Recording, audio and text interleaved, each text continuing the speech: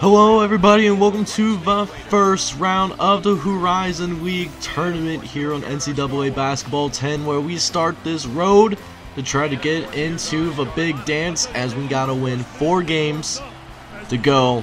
But we gotta worry about this first one first as we start off as playing Loyola Chicago. They are the worst team in the league, but they gave us a really hard time. We nearly lost these guys down by 20 at one point but we were able to come back and win. But now it's time to get ready for some action as we are officially underway for the first round of the Horizon League tournament. Should be a good one.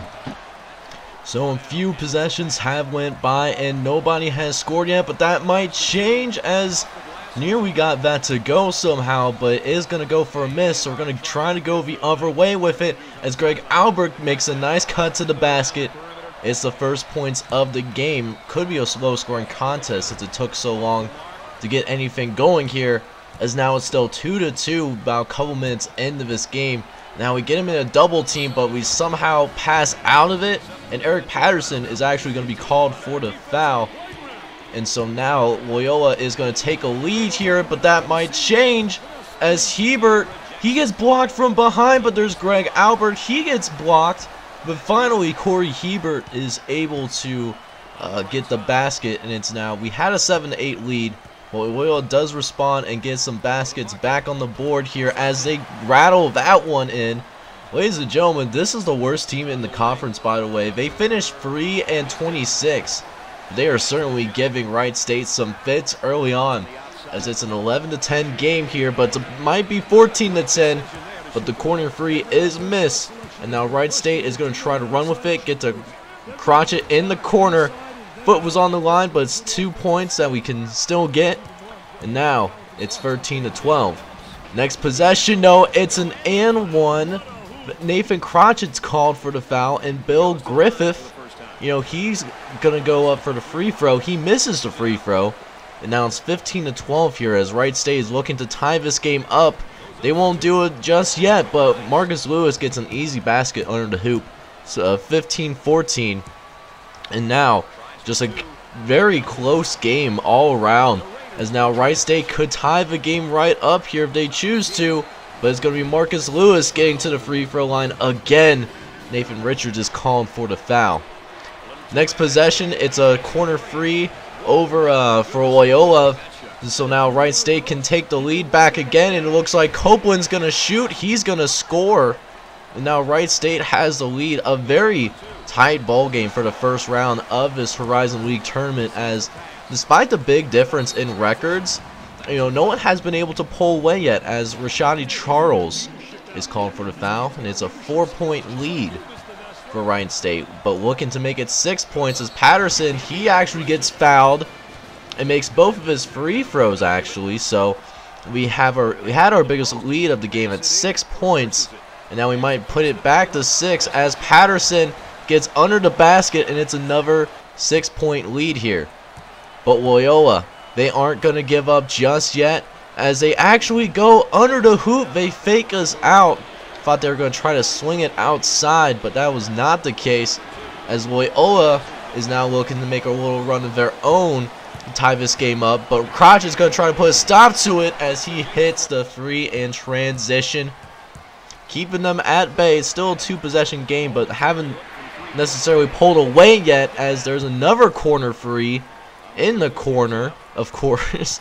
As, um, you know, actually really interesting first game, not going to lie. As there's another nice cut to the hoop, makes it a 39 to 38 game, and then later on, gets the and one. Lewis Eugene gets called for the foul. And so they have a chance to tie this game up, but they don't get to do it. So now, minute 40 left, we're scrambling around. It's Patterson. He gets to the free throw line as an opportunity to tie this game up is missed. So now, Leo is going to try to get that lead. And they, we didn't get the rebound. And so Loyola has a one-point lead here with 30 seconds left. Looking to get the last points, but we almost pick off the pass, but instead it's going to be in mid-range or danger. And that's actually going to end the first half already for us as Loyola the worst team in the conference at 3 and 26. Enjoy a three point lead going into the second half. Alright, so here we go. Starting the second half off. We're going to try to start things right here. Get to Greg Albert in the paint. He's able to muscle it in there. And then here comes Patterson again. He's going to take a mid-ranger. Danger, that's good. So immediately we have the lead right back. But can we get some stops and so that we can extend this lead? And that's a no as Bill Griffith, their star player, at least that's what their star watch says, was able to tie the game up as we try to get a free of our own. That doesn't work. And then they're just going to go right to the lane. And there's Lewis Eugene called for another foul. And so it's a two-point game. Later, it's uh, Loyola passing it around. Gets it to, to the paint. And that's good. So now they have the lead extended to four. But Corey Eugene is going to make sure that it stays reasonable as he hits a deep three. Just launching some nukes out there. And then he's going to do it again with this time a little mid-ranger danger. That's five consecutive points for the senior point guard. He wants to go dancing so badly. As now, Crotchet, he's going to pull up. It's the foot on the line. Then some more points for Wright State. But unfortunately, they're going to be able to respond right back. No, no, they do not actually. I thought they were going to get that one to go really easily, but instead, it's Marcus Lewis muscling it in there again. It's a two-point game for the Raiders. As later, eight minutes left, it's Greg Albert. He misses that one wide right.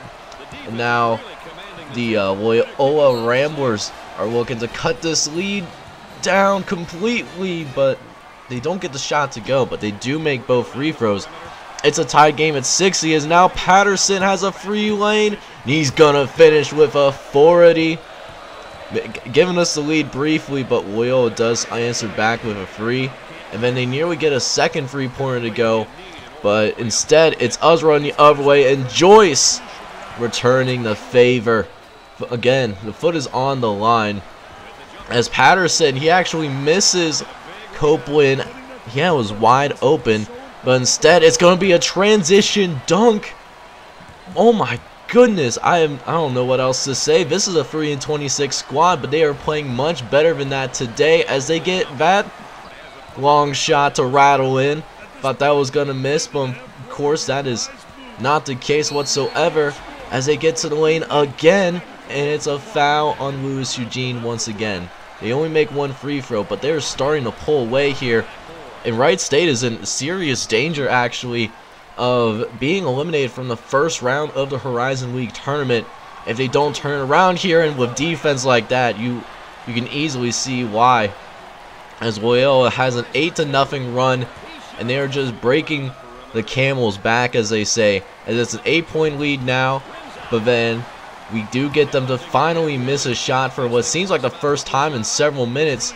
And so in desperation Lewis Eugene's going to try to take it in there. He doesn't get the foul but it is, uh, we still get the two points. Uh, the foul would have been definitely helpful, but what won't help is a breakaway uh, layup. And that's going to do it here, actually, as, you know, we, we got some junk points um, towards the end of the game, but we will be eliminated early this season. Well, boys, with that loss that we took to Loyola in the first round, our season is officially over. We're going to finish the first season 14 and 16. But man, does this really hurt. I was hoping to go a whole lot further, especially how we beat Butler twice, but it is what it is. And we just got to come back stronger for season 2. So join next time as I'll, for the next episode of the series, I'm going to do the season one off season as well as a recap of how the entire year went show some stats show who won the national championship all that good stuff. And it should be a good one. So you know smash that like button hit subscribe if you're new hit me up in the comments if you want as well. I'll see you guys next time and i hope you have a wonderful day. Take care everybody